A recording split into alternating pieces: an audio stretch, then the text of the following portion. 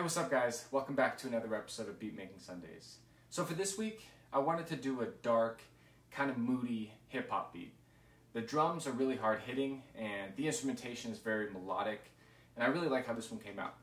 So, yeah, that's pretty much it. Let's check it out.